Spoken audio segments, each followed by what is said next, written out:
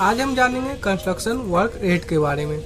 मैं आपको जो भी रेट बताने वाला हूँ, ये quality base location wise change होते रहेंगे। अगर आपको क्वालिटी अच्छी चाहिए तो आपको रेट ज़्यादा देना होगा अगर आपको क्वालिटी एवरेज और लो चाहिए तो आपको पैसे भी उसमें कम देने होंगे। और इसी तरीके से अगर लोकेशन के ऊपर भी है, कहाँ पे आपका लोकेशन पड़ता है तो अब मैं बताऊँ आपको सेटलिंग जो है, वो दस रुपये सत्तर पैसे स्क्वायर फीट पे किया जा रहा है हमारे यहाँ पे, जहाँ पे अभी मैं काम कर रहा हूँ। और इंटरनल प्लास्टर रिपेयर सात से दस रुपये स्क्वायर फीट एक स्क्वायर फीट का आपको मिनिमम सात रुपये और मैक्सिमम दस रुपये तक जाएगा।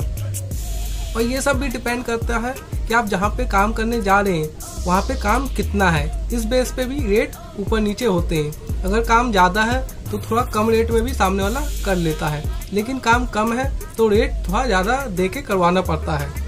तो इसी तरीके से एक्सटर्नल प्लास्टर है। पंद्रह रुपये स्क्वायर फीट दिया गया है यहाँ पे। विट्रीफाइड फ्लोर टाइल जो आप ये देख रहे हैं, ये फ्लोर टाइल है। ये जो लगा है, ये पंद्रह रुपये स्क्वायर फीट लगा है। एक स्क्वायर फीट का पंद्रह रुपये पे किया गया है। विट्रीफाइड स्कर्टिंग इसका जो स्कर्टिंग लगा है, वहाँ पे आप देख पाएँगे ये। यही पंद्रह रुपये रनिंग मीटर पंद्रह रुपये रनिंग फीट पे किया गया है। और यहाँ पे स्टेयर मार्बल स्टेयर पे हमने यहाँ पच्चीस रुपये स्क्वायर फीट पे किया है। जो स्टेयर पे मार्बल लगा है। अगर इसे हम रनिंग फिट में पे करते तो ये चालीस रुपये या उससे ऊपर पे होता। और स्टेयर स्कर्टिंग इसी का स्कर्टिंग जो लग रहा है, वो बीस रुपये रनिंग फिट लग रहा है। कहने का मतलब एक फिट का बीस रुपये लगाने का।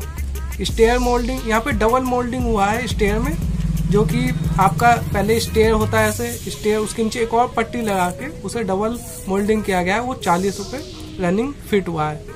अगर सिंगल मोल्डिंग होता मतलब सिर्फ़ एक मार्बल है उसे मोल्डिंग करना है तो बीस रुपये फिट होता रनिंग फिट इसी तरीके से किचन टाइल लगाया हमारा, किचन में वॉल टाइल लगा है वो सोलह रुपये स्क्वायर फीट लगा, एक स्क्वायर फीट का सोलह रुपये किचन काउंटर साढ़े बारह सौ रुपये एक किचन में ग्रेनाइट लगाने का साढ़े बारह सौ रुपये पे किया गया। इसमें क्या है? ग्रेनाइट लगाएँगे, उसका मोल्डिंग करेंगे, लटक लगाएँगे इन सब काम के लिए उन्हें साढ़े बारह सौ रुपये पे किया जाएगा। Toilet wall tile toilet wall tile सत्रह रुपये स्क्वायर फीट पे किया गया है। एक स्क्वायर फीट का सत्रह रुपये। Toilet floor tile, toilet floor tile पंद्रह रुपये स्क्वायर फीट पे किया गया है। टॉयलेट फ्लोर टाइल आपका एक बाय एक का लगा गया है। टॉयलेट फ्लोर टाइल आपका एक बाय एक का लगाया गया है मतलब एक फीट ऐसे, एक फीट ऐसे। यह आपका होगा एक स्क्वायर फीट उसके लिए पे किया गया है पंद्रह रुपये। ब्रिक वर्क हुआ है नौ इंच का वो बीस रुपये क्यूबिक फीट मतलब एक क्यूबिक फीट का बीस रुपये आरसीसी कास्टिंग आरसीसी कास्टिंग आपका छप्पन रुपये क्यूबिक फीट पे किया गया है। अगर एक क्यूबिक फीट अगर बना के मसाला उसे डाला जाए तो छप्पन रुपये इसके अलावा मैं जो भी आपको रेट बता रहा हूँ, इसमें लिफ्ट चार्ज भी होते हैं, जैसे फ़र्स्ट फ्लोर पे पाँच परसेंट सेकेंड फ्लोर पे गए तो दस परसेंट, ऐसे ही कुछ वर्क में लिफ्ट चार्ज भी बढ़ता है। पीवीसी एंड सी पीवीसी जो फिटिंग हो रहा, वो आठ हज़ार रुपये पर फ्लैट है। मतलब एक फ्लैट में आपका एक किचन एक बाथरूम है। इसकी फिटिंग करने के लिए उसे पे किया जा रहा है आठ हज़ार रुपये। और इसमें ये टंकी वंकी सब साथ में फिट करेंगे बाथरूम में, टोटी वोटी लाइन वाइन सब चीज़ इनका काम रहेगा। कोर कटिंग मान लिया आपका स्लैब है, इसमें आपका पाइप के लिए पीवीसी और सीपीवीसी के लिए मान लिया अगर कोर कटिंग करना है पीवीसी के लिए एक इतना बड़ा तो पर नंबर उसे दो सौ रुपये पे किया गया है।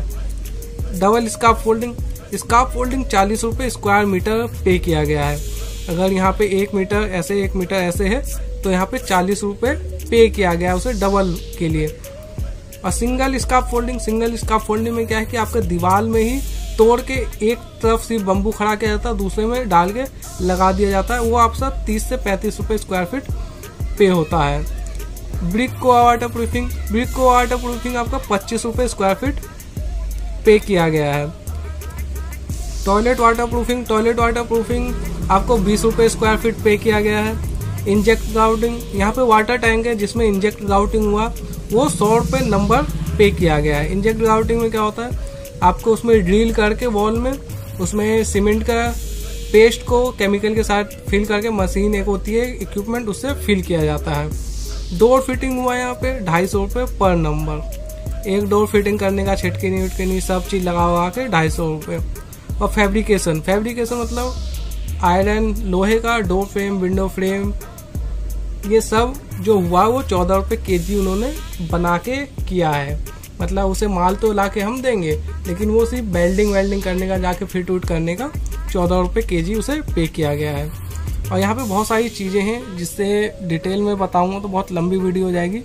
इसलिए यहीं स्टॉप करते हैं और मिलेंगे अगली वीडियो में।